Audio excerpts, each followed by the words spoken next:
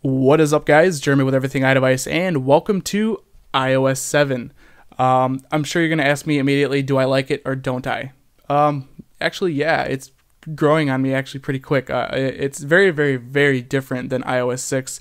Uh, you really got to sit down with iOS 7 on your device and just use it to get used to it. It's very seamless, it's fluid. Uh, you can tell the attention to detail is, is rather significant with iOS 7. Um, and yeah, it's really growing on me and I do like it. But now in this video, I'm just going to give you guys a quick overview of iOS 7. I'm not going to go into depth or uh, cover you know anything in specific really. I just want to give you guys a look and feel of iOS 7. Uh, after this video, I'll start to break it down into different sections and give you kind of a complete tour of iOS 7. So stay tuned in for those videos. But like I said, this is just a quick overview. And the first thing you're going to notice, obviously, it, it looks different in every single way. Everything looks different. There's nothing that looks the same as iOS 6 in my opinion. It's all different. The one thing I do like about iOS 7 is uh, they have kind of a foggy, see through glass kind of thing going on with the dock, uh, control center, notification center, the folder backgrounds. Uh, they like to keep the wallpaper kind of seamless. They focus in on animations that you know draw you to what you're doing and keep you focused on what you're doing. Uh, it, the attention to detail in iOS 7, you can really tell it when when you use it. So as you can see, all of the stock app icons are completely different.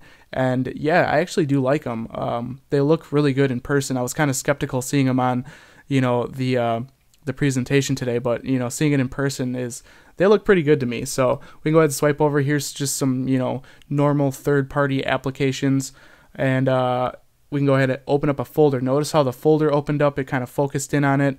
It still keeps the wallpaper there, and then there's that foggy kind of see-through glass going through your wallpaper. And yes, there's two pages to the uh, the uh, folder there. So more to come with this. I'll get more into details in some future videos. But that's the folders. Um, notification center. We can go ahead and swipe down. You have missed. You have all. You have today, uh, which is the date calendar events and then calendar events for tomorrow if you have any. Um, so as you can see, this also has that kind of foggy glass see-through. You can still see the app icons through it just a little bit. It's it's a really uh, it's a really classy operating system in my opinion. Here's Control Center. You can see how that looks. I think it looks really good. You got your quick toggles, you got your brightness slider, you got your music controls, you got AirDrop, you even have your flashlight button right there, which is going to be hella convenient. Uh, no more tweaks for that kind of sucks. But I, I am very excited for a jailbreak for iOS 7. Hopefully that comes out as soon as iOS 7 is officially released because I think uh, jailbreak developers are going to be able to take this to a whole nother level. Um, so let's see, what else could I show you guys? Um, I guess I'll go to the lock screen here now. Now notice how the device locks. It's a little different than before. It actually kind of fades out, and then when I wake it back up, it will fade back in. So notice the fade out. Just a nice subtle difference. It's really nice. Fade in, also, yeah. iOS 7 comes with animated wallpapers, which is an awesome touch on Apple's part as well. Uh, so here is the lock screen, a lot different. You still have your slide to unlock text, but there's no slider. You actually slide the whole uh, lock screen kind of out of the way. It moves the, the date and the time, slide to unlock, and the camera grabber moves it all out of your way. Of course, you can access Notification Center from uh, the lock screen. Notice the bounce Nice little touch. Also control center right there. You can either swipe it back down or just touch. You do have your normal camera grabber. And then when you slide to unlock, notice the cool app icon animation that happens. Very cool looking. Uh, so like I said, when you open up apps, it kind of focuses in on what you're doing and it gives it a nice animation. So notice how the app opens.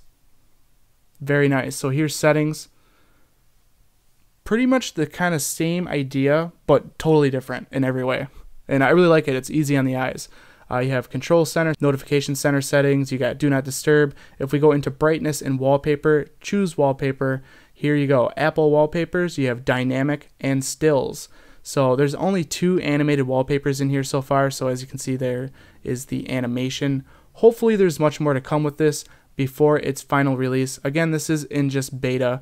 And I think that's about all I'm going to cover within this first kind of quick overview to give you guys just a little bit of a feel of what iOS 7 offers. Again, like I said, videos after this, I'll start to break down iOS 7 and show you really what it's all about. Uh, so if you guys did enjoy this video, definitely throw me a thumbs up. That will help me out tremendously. Also, let me know down in the comments section of what you guys think of it so far. I'm very curious to know.